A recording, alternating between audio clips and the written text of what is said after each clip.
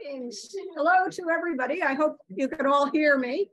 Um, my name is Lynn Viola. I'm uh, uh, a university professor emerita from the history department, and I am delighted to welcome you to uh, the um, seminar today. It's the Edward and Belle Freid Memorial Lecture. Um, at the Anne Tanenbaum Center for Jewish Studies. Now, before we begin, uh, I would like to acknowledge this land on which the University of Toronto operates. For thousands of years, it has been the traditional land of the Huron-Wendat, the Seneca, and the Mississaugas of the Credit. Today, this meeting place is still the home to many Indigenous people uh, from across Turtle Island, and we are grateful to have the opportunity to work on this land. I would also like to extend a special and warm welcome to Mr. Loren Freids, uh, here representing the Freid family. The generous gift that made this lecture possible was given by the estate of Michael Freid, Loren's late brother, in honor of their late parents. Edward and Belle. Edward was a survivor of both Auschwitz and Mauthausen and immigrated to Canada in 1948. He created a successful life for himself and his family. This fund was created to support student graduate student research and public programming in the field of Holocaust studies and education. Thank you. Uh, okay, so today's speaker um, is no stranger to the U of Toronto. Uh, Dr.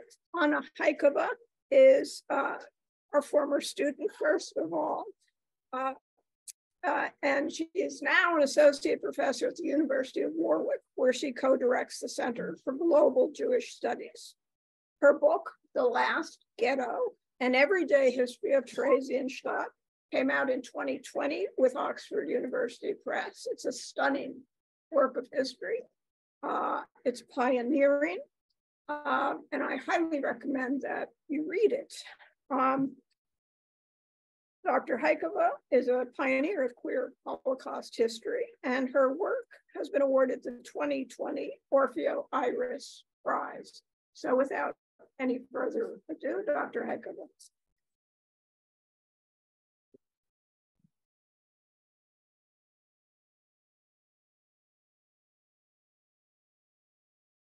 I'm so glad it's not me.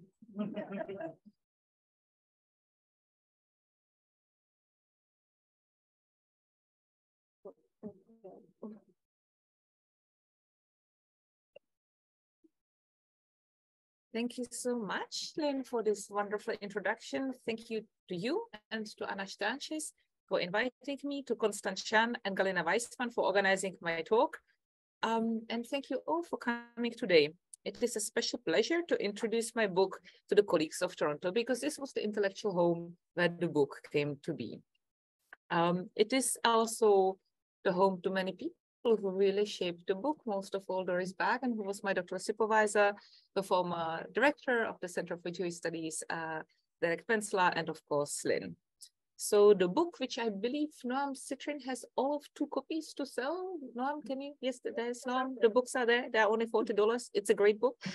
Um, the book is more seriously doing two things. Uh, I set it out to write a new analytical history of Theresienstadt. Uh, most of the books before were written by survivors. I'm obviously not a survivor. Those of my relatives who were imprisoned in Theresienstadt did not survive. So in that sense, the narratives that emerge with the survivor community did not impact me or did not impact me directly. But moreover, the book is also trying to write a case history of society in extremis. I was always interested, like when you go to the talks on, say, the Werner Scholem or whatever, if you're not interested in Werner Scholem, what does the book actually tell you about bigger topics? So in a way, I'm trying to answer to the question is, what was the society of Holocaust victims?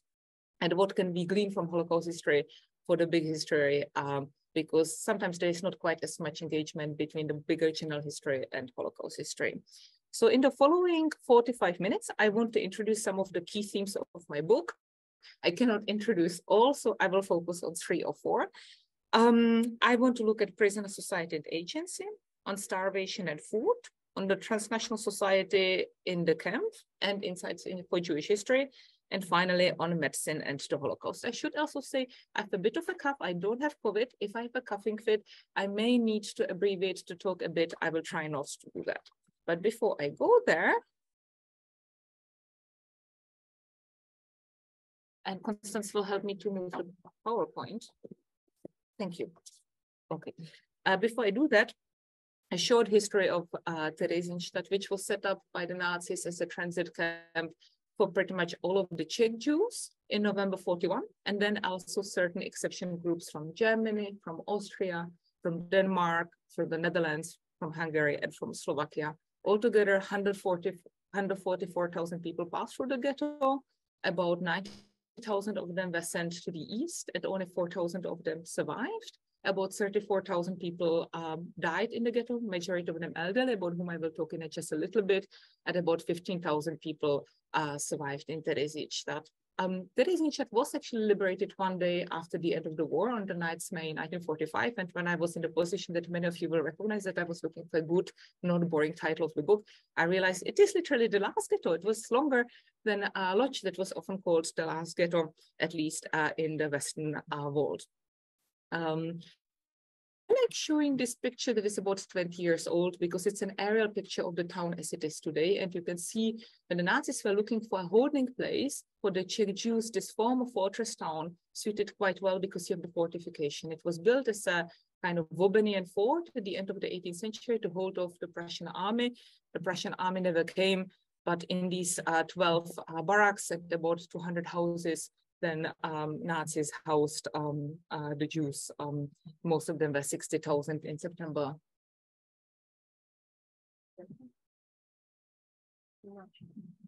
What am I doing wrong? I'm just gonna move here. Okay, I'm too tall. Thank you. Okay.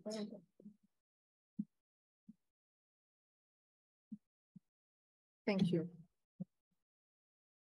So the ghetto lasted for three and a half years between November 41 uh, to May 45. And with this mixture of ethnicities, it was truly a very much transnational history. The SS set up the ghetto and controlled it, but did not administrate. The Nazis were far too quick to figure out that bureaucracy is a lot of work, and they were all too keen to outsource it to enforce Jewish functionaries. So it was the Jews who had to put together the transport lists, it was the Jews who decided what food will be bought. It was the Jews who decided how the very meager housing will be distributed among the people. It was also the Jews who had the job to build up uh, the healthcare out of nothing. Theresienstadt is best known for the two propaganda aspects, for the visit of the International Cross, Red Cross in 44, and also for the propaganda movie. And yes, it is actually quite striking. But if you want to understand what actually happened inside the prisoner society, we very quickly find out that for most prisoners, that was an interesting footnote, but it did not really shape the experiences of the camp. Already in the ghetto, you had the mass narrative, that uh, prisoners kind of told about what is the meaning of being imprisoned in today's Theresienstadt. It is a story that is a redemptive story, how Jews who were stigmatized, who were kicked out from their homes, who were made to wear the Star of David, made something good out of something bad. People who used to be attorneys and physicians and were white collar jobs now excelled in manual jobs, uh, showed that they were sportsmanlike and that they could salvage something good out of this horrible place they uh, could take care of the most vulnerable ones, defined as children, and produce outstanding cultural events. So you see here have kind of the birth of the legend of Theresienstadt about Brundivan cultural events. That is something that definitely people in Theresienstadt put on, but at the same time they celebrate that this is what they are producing. And this mass narrative in turn produce corresponding memories.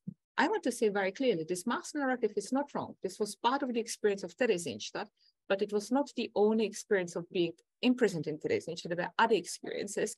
And what I do in the book is that I put these corresponding memories in conversation in a kaleidoscope and ask, what does it mean? And how come is it that we have one dominant mass narrative that kind of suppressed other experiences, most importantly, uh, the old people who were really the underdogs in Theresienstadt.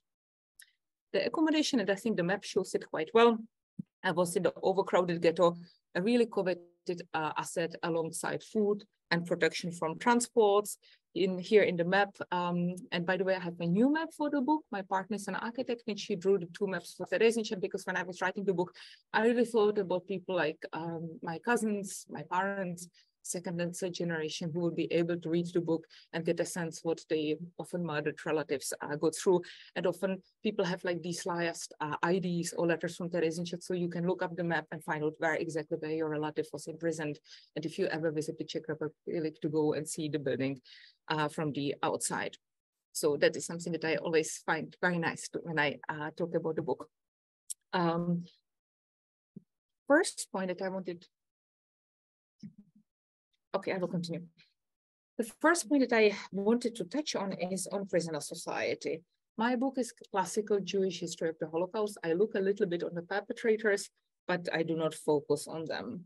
Um, they are two part of my history. So one of the outsets is that I, um, uh, by observing the victim society outside of the focus of the perpetrators and beyond the total focus on violence, we recognize that yes, violence was important, but it was not omnipresent. It was often not omnipresent in its physical form. And I think this is quite an important insight for our understanding how Holocaust, uh, especially for the prisoners in ghettos, uh, played out, so that we do not basically go to the sources that always expect violence to be everywhere, because often it's structural violence and not physical violence.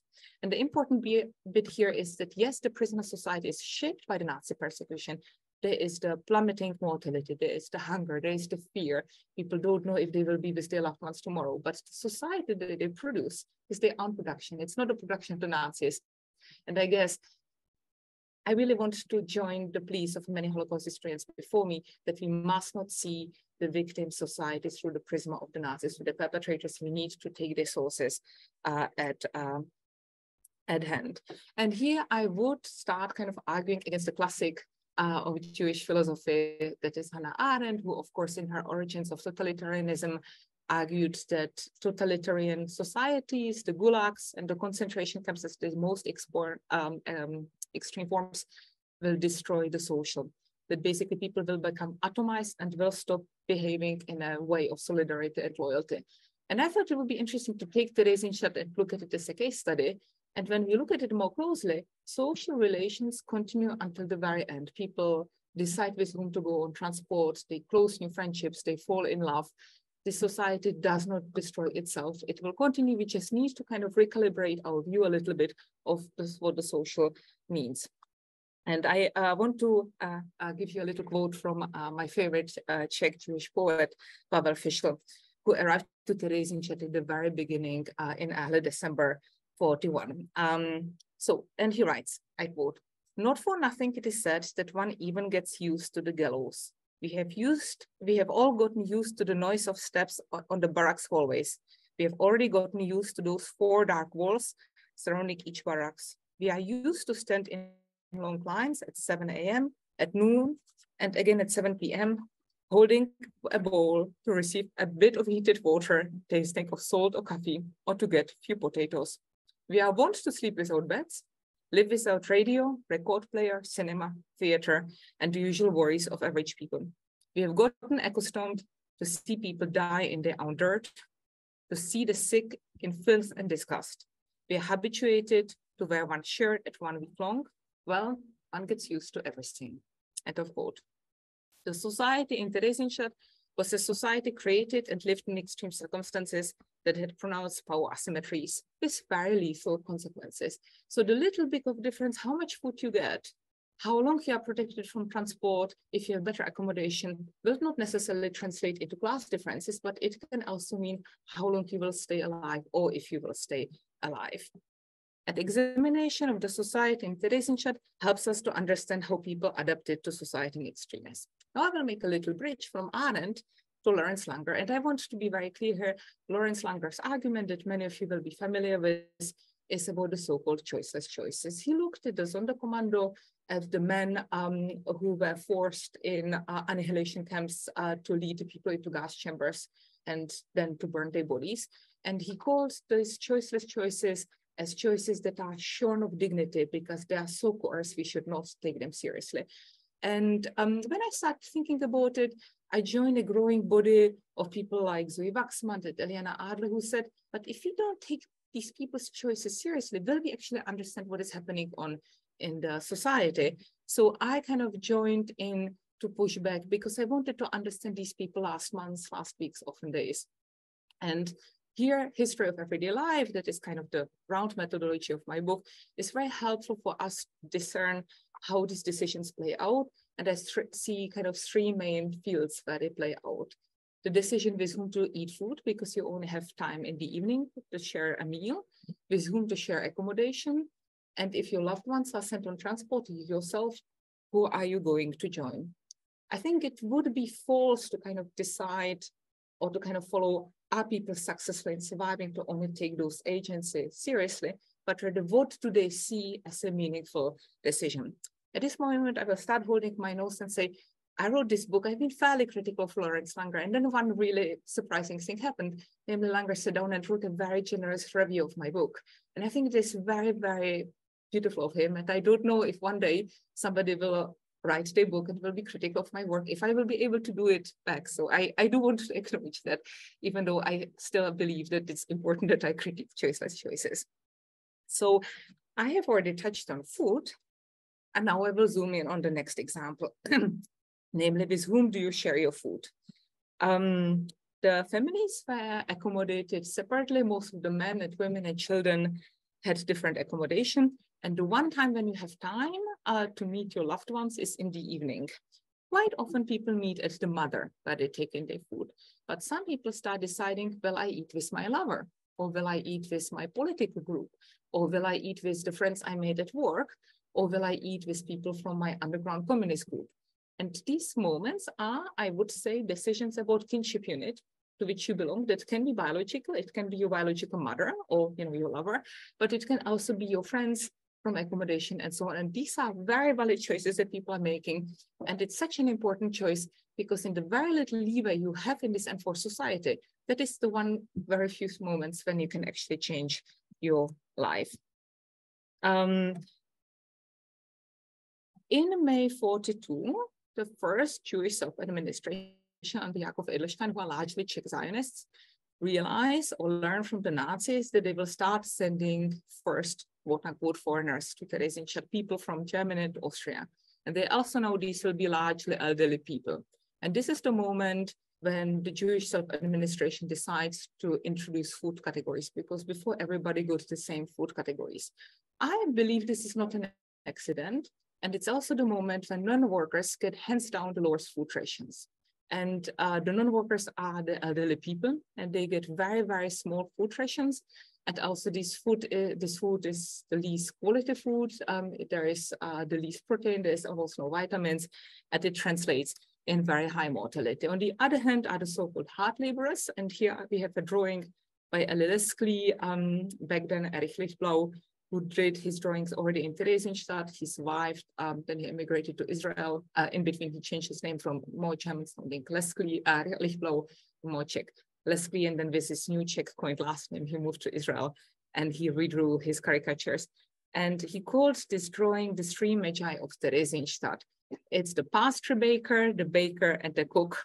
And I really like this drawing because it shows you who are the big shots in Theresienstadt. And also there is much to speak about the features he gives to Stephen because these are pronouncedly Jewish features. Um, almost all of the hard laborers were people who came on the first transports. They were Czech Jews, pretty much all of them were men. Uh, and that also translated who were seen as the social elite in Theresienstadt, people who were often protected from the transports to the east, who had food to barter, who were seen as kind of much sought after sexual partners. And then with this extra food, they were able to get extra accommodation, maybe even the much sought after so-called kumbas, cubbyholes, in the ethics of the accommodation. On the other end of the social hierarchy in Theresienstadt were the elderly. And here we see a drawing by the Brno architect Norbert Troller, who drew elderly people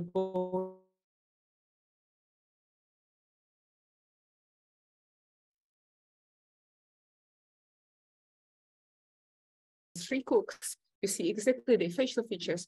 You have just about the body types, and these people are seen a little bit like a garbage, a little bit like a, a mob of people looking for something. And that is what I found so striking in the sources, especially of um, the younger Czech Jews, that either they say nothing about the elderly or they say they were disturbing, they begged for food. They did not even have like the shame to look in the garbage for any of the food or they died quickly.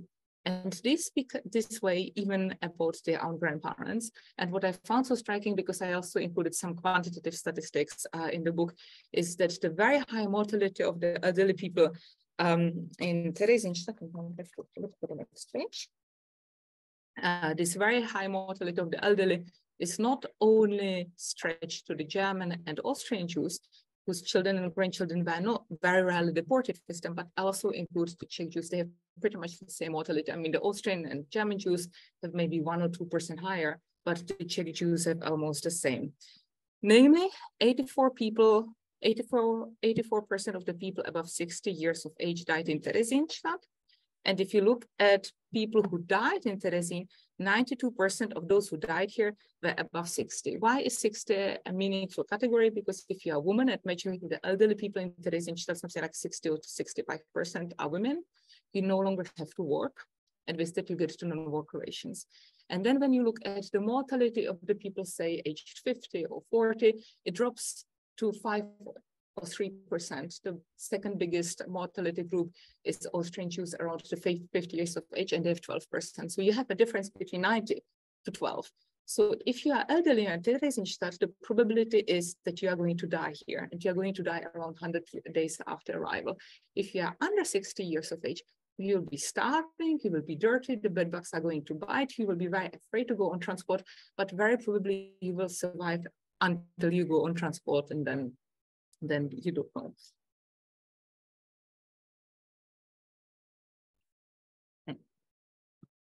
This is smarter. In spring 1943, the head of the ghetto guard, a Berlin Jew called Karl Löwenstein, visited the pathology because there was a pathology. And this is another story. And if you want, we can also discuss the assimilation at medical history. And I will talk a little bit about medical history.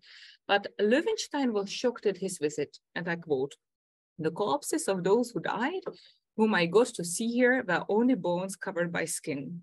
These dead literally starved to death. I saw corpses who were not heavier than a small child in the boat. And when he asked the doctors what is happening, they told him this was completely normal. The starvation of the elderly in Terezin was an, Amartya, uh, was an example of what Amartya Sen, uh, this kind of scholar of famine, called that um, in situations of shortage, many more people die than would be actually proportional to the food missing because it's a study of misdistribution as the misdistribution. As long as there is a little bit of food missing people start kind of scrounging for food get from it a little bit more maybe barter it maybe give it to friends and then the food shortages get greater and people who are immunocompromised often it's infants but in the case of Theresienstadt start dying in much higher numbers. So sure, it was the German authorities who first deported Jews to Theresien, Theresienstadt and who severely limited the food supplies. But yet the actual form how food distribution took place was caused by the food categories and by corruption, and it was a consequence of the inmate society the starvation patterns in Terezin, and I think this is important, contradicted to all other situations of scarcity because we have infants, we have small children in Terezin, not very high numbers, but we have hundreds of small children in Terezin, and very few people, very few of them die because the prisoner society dictates that children are the most valuable.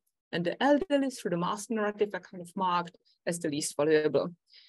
And the prisoners saw hunger, deprivation, and dying as a mark of exclusion, which reinforced the process in which the weak elderly stood on the lowest rank. I do not say this to criticize the decision of the Jewish self-administration, but I say it as a part of history that so far has not been written. And I think we owe it to the suppressed group to at least take a face how the grounding generation of the German, Austrian, and Czech bourgeoisie, you know, the people about whom Marion Kaplan wrote one of her most important books, The Making of Jewish Middle Class, how these people died, because they die with enteritis uh, in their own dirt, completely confused and emaciated in Theresienstadt. And we should be able to face this history, even though this is a very difficult history. But also, food is a means of acquiring new culture in Theresienstadt. We know from the feminist scholarship, people like Cara de Silva, about recipes and recipe swapping and talking about food in Theresienstadt. But Theresienstadt is also a place where people learn new food and through food, the new learn culture. So for example, uh, the 55 year old uh, man from Berlin, uh, Richard Ehrlich, uh, wrote in his diary, I quote, I only discovered millet here and I could eat it every day, end of quote. And suddenly foodstuffs, fruit and vegetable that used to be kind of working class food like plums or cucumbers um, that, you know, working class would be eating, but not with the bourgeoisie that will be eating, you know, lemons and oranges and pineapples becomes a stuff of like great luxury because only very few people who work in the agriculture detail for the SS can smuggle it in. And one of the shepherdesses who smuggles in half a kilo of tomato is suddenly incredibly wealthy because these tomatoes are worth so much. In various ways, our food, both giving and receiving, also served as a symbolic instrument of prestige. Else, Dormitzer was an older lady from Nuremberg who escaped from Nuremberg to uh, the Netherlands and was eventually deported to Theresienstadt. She survived and told a story that when she arrived, she met her old friend or acquaintance Leo Baeck, of course, the foundational figure of German Reform Jewry, and to accommodate her and to kind of also show that he welcomes her, sent her raisin bread. And of course, it's great to get raisin bread when you're starving, but it's also a gesture of recognizing her as one of her own. And this is why she actually goes into the pains of telling us the story. The next point is on Jewishness and transnational history. The mix of inmates in Terezin reflected the heterogeneity of the Jews in pre-war Europe. Ghetto inhabitants included one magician, citizens of various South American countries, Turkey and the Soviet Union, three Jews. That was the family of the former minister Leon Meyer, and you could recognize them. Interesting, many people remarked on that in the um, in the diaries because the Star of David did not say Jude or Yod, but Jewish, and there were just three of them. Um, in addition to a sizable Catholic and Protestant minority, and indeed there was actually a very active Christian community in Theresienstadt, and towards the end of the war, 25% of the Jews sent to Theresienstadt, because everybody sent here is quote unquote racially Jewish, but many of these people identify as Christian. And in the last months of the ghetto, 25% of people in Theresienstadt identify as Christian. So in addition to them, there were also 12 Adventists, four Christian scientists, and three Muslims. I tried to find more about the three Muslims, but I did not. but while people in Theresienstadt came from six countries and spoke at, at least six languages, were developed in today's Theresienstadt. And I thought it was really surprising when I kind of started computing that analytically. What developed in Theresienstadt was a kind of a binary between the locals, the Czechs, and the foreigners, everybody who was not Czech. Um, there were many moments of ethnic stereotypes and othering that were linked to class, but could be surpassed. It could be surpassed if somebody was charming, social capital, or good looking. It could be surpassed if somebody could pick up languages quite quickly. And you see how even the German elderly start picking up Czech, so they sign as maminka and not mutin, mama. Um, it could be surpassed through falling in love, through network set accommodation, through professional communality. You know, if you work in a workshop with other window makers, you will make friends here and it will improve your social capital. So Theresienstadt was a very segmented community, but at the same time, very interconnected. And even the people at the bottom would probably not be further than three people in common with the head of the Jewish self-administration. Now, where does all of this fit into Jewish history? We have much debate in Jewish studies and especially in German Jewish history, what to make of the concept of assimilation. And I have told that so much that it will come when I talked about pathology. And I love the moment when somebody, I think uh, Israeli copy editor uh, commented on a text of mine where I talked about pathology and said it's impossible. Of course, you cannot have dissection according to the Jewish medical laws. And then I said, welcome to Central European Jewish history. We know from the Chronicle of the Catholic community that in addition to observant Jews, there were many atheists. Okay, yeah. Um, and this Catholic and Protestant group that I already talked about. But when we look at the contemporaneous self-testimonies of Czech Jews, what struck me are the many, many descriptions and emotional relationships to home. And what I have here is a cover of a girls magazine uh, from um, Monaco uh, from L414 that was led by the communist Ruda Sekanyeva who survived and who then was, by the way, one of the very few Jews who survived in function at the Slansky trials in the early 1950s. And she led a children's home of a so-called Geltungsjuden of um, uh, girls of mixed marriages who were sent at their 14th birthday Theresienstadt. So sure, they went to Theresienstadt without their parents, they were there on their own. This is also why uh, the youth leadership set up a special home just for them. And you see here a tree house is assigned or to Prague. So sure, you could say this is different, but this is kind of the tone you find over and over. There were many evocations of all sorts of Czech rituals and symbols. For instance, several inmates cut little wood lions that were very popular, and it is the double-tailed lion that is the Czech coat of arms. Uh, prisoners from the protectorate are singing the songs of Voskovec and Werich that were written as political leftist songs in the 1930s, but became coded as something as a statement of Czechness. And the first Christmas in Terezin in 41, people read aloud from the Bible of Kralice. That was um, 16th century translation of the Bible by the Bohemian Brethren that then became coded during the 19th century as anti-Habsburg and pro-Masaryk Czechoslovakia.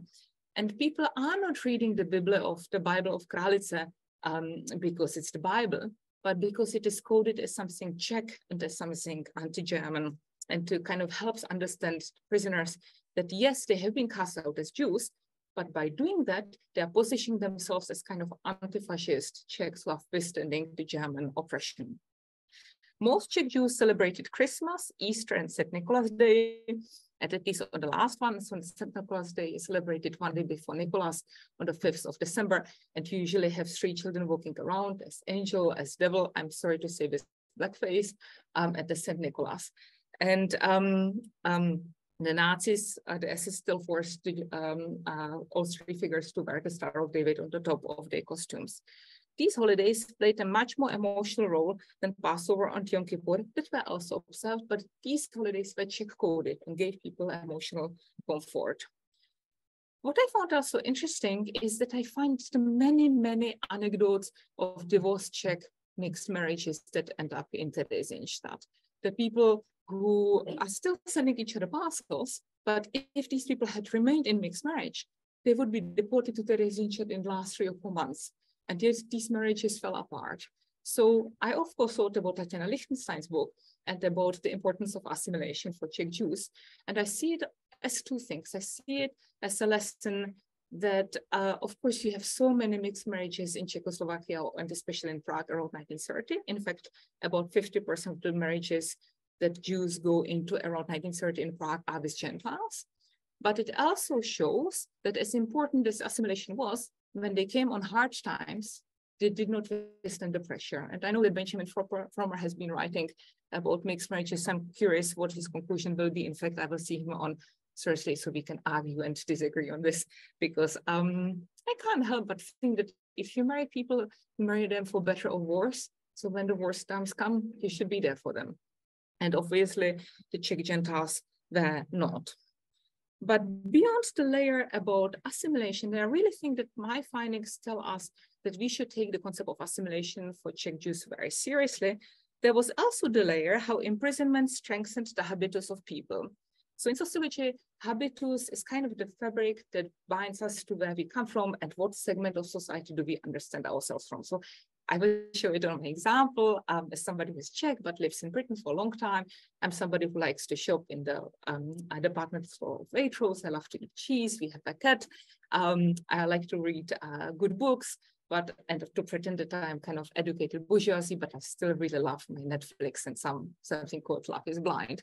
And this is kind of the belonging. Okay, I see some laughter. People recognize Love is Blind. Um, and with that, I kind of find my commonality and where I belong.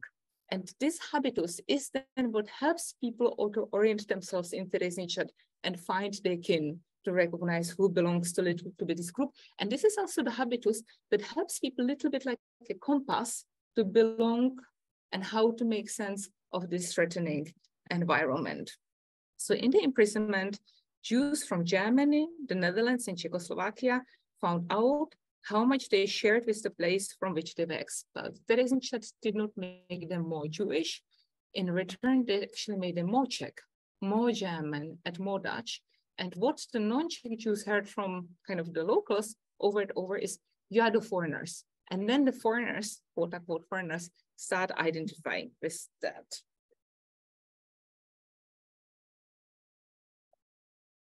Not only did Theresienstadt not engender a common sense of Jewishness, this kind of point, what does it mean to be Jewish, was something that many prisoners really reflected on.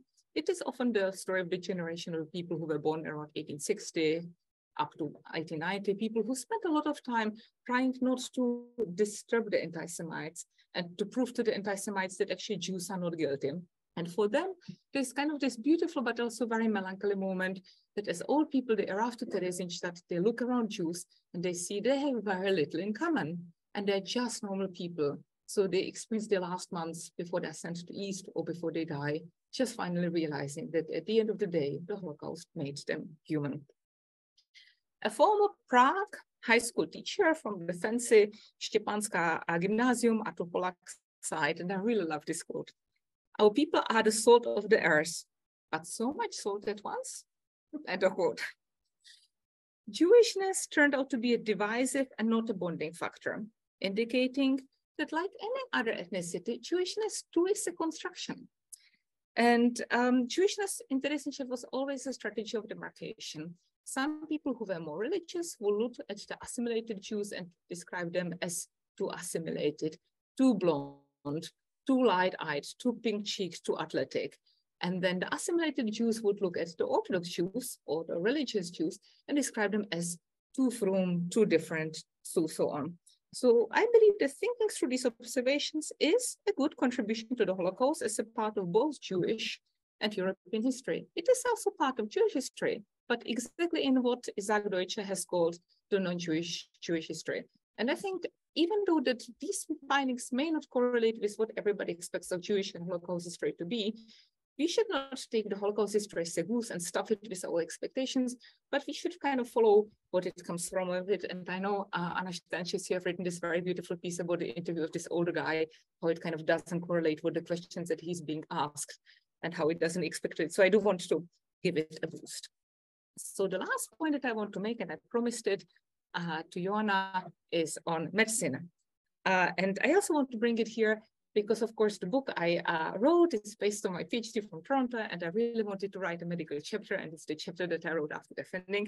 So I'm particularly happy to share it today. And in a way, I structured the book alongside the everyday topics from Theresienstadt, food and hunger, society and ethnicity, culture, fear from transport and illness. And we of course know that illness was incredibly frequent in the Holocaust, but what does it mean and how did people come to terms with it? But even though Theresienstadt was so crowded and people were dirty and they were immunocompromised because they did not have enough vitamins, the massive spread of infection that we could see in other ghettos was avoided thanks to the management techniques of the prisoner physicians. And this house that you can see, Hohenelbe Overchlabi, was the head of the, was the seat of the main hospital in Theresienstadt, it's still there. It's a little bit dilapidated. If you visited the memorial, you see the house. It's the house with the smelly goats in the courtyard. And it was the said seat of the Gesundheitswesen, of the health services. Not only were people in Theresienstadt kind of medically endangered because the food was bad, there was so much dirt, there was so much overcrowding, but the Theresienstadt population was disproportionately old. In February 43, kind of in the half of the duration, almost a third of the Theresienstadt were permanently ill, what you could call morbidity, and half of them were permanently ill elderly. But the Jewish physicians managed to get on top of that. How did they do that? Namely, they were able to pursue the SS, and they worked very cunningly with the German fear of the Jewish infection to persuade them to supply actually a lot of medication to Theresienstadt.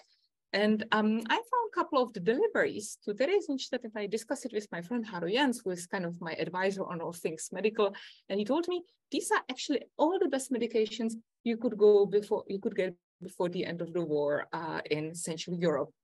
Uh, so it was half a million crowns in August 44. and they've had um, medicine for pain, for dysentery, for paratyphoid, heart medication, and sulfa drugs. Of course, they don't have antibiotics because antibiotics will then come with Western allies after the liberation. And we have her, yes. I will go go back.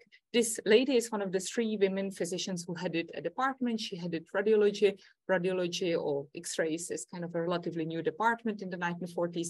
And this is why a woman physician was able to do a career. And Lily Pokorná in 43 uh, showed around a visiting Wehrmacht officer who inquired whether she had any photographic material for X-rays. She had little, she told him, often had to do with X-ray paper. But the officer from Vienna was completely amazed because in Vienna, there were often no X-ray photographic material to be had for months. It all went to the front and they have it in Theresienstadt. So it kind of shows how cunningly uh, the physicians were able to use. We also have a surviving surgery um, a diary of Erich Springer, the head of the surgery. And we have uh, one very nice drawing of your Josh of the operation of the operation room. Um, the operations were modern and complex. Uh, they operated on all the difficult things, and they did it up to the basically the best standards of the late 1930s.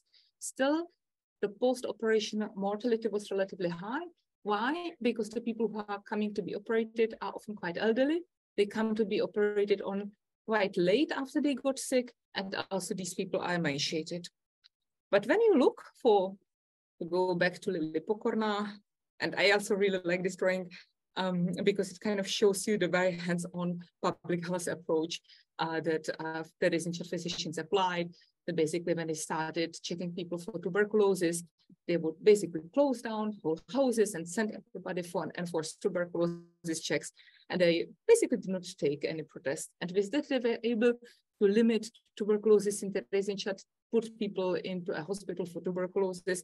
And if they were then sent to Auschwitz, some of them actually were able uh, to survive because their tuberculosis was not quite healed, but definitely put it away.